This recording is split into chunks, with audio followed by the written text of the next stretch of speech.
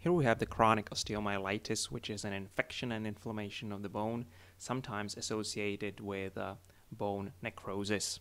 Here we see the bone trabeculae, here we have intratrabecular area, and the, in this part of the slide we see bone necrosis.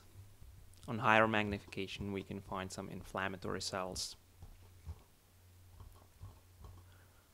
Inflammatory infiltration in this case is associated mostly uh, is composed of neutrophils and eosinophils.